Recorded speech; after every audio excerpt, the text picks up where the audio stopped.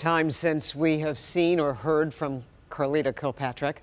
The last images of her were in Detroit, coming from a courtroom as her husband was mired in the corruption scandal that eventually sent him to prison.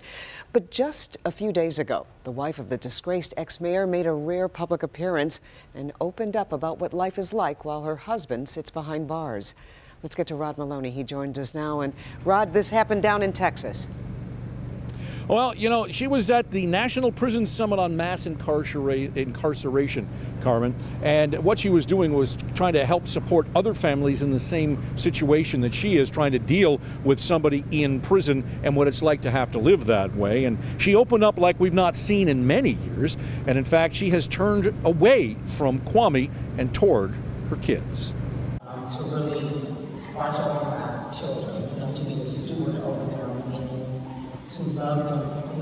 Former Detroit First Lady Carlita Kilpatrick now works in a car dealership, while her husband still must serve 25 years of a 28 year federal prison sentence.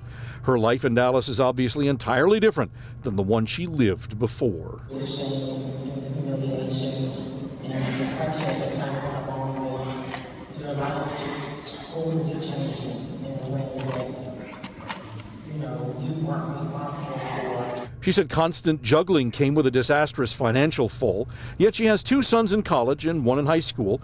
Still, it's a daily fight to teach humility. You are not what you wear. You are not, you know, status symbol. You are who you are on the inside. She's a, a working single mom, and she has embraced that for the sake of her boys. The video comes courtesy of the Detroit Free Press and columnist Rochelle Riley, who went to Texas to hear firsthand Carlita's words.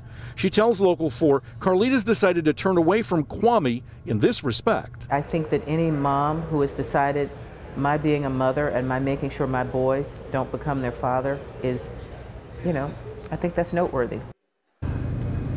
Now, Rochelle tells me that she tried to get Carlita to talk about whether she remains married to Kwame Kilpatrick, and that was a question she would not answer. She also said that Carlita refused to discuss Kwame at all, especially that drive that is out there to try and get him pardoned. Back to you.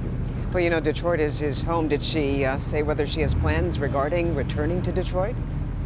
Well, actually, you know, uh, Carmen, she's originally from Washington, D.C., so Detroit was not her original home. But yeah, right. she did spend a long time here, as a lot of people uh, who were friends with her. But no, she made it abundantly clear that Detroit is uh, not in her future at all in any fashion. All right, our Rod Meloni reporting for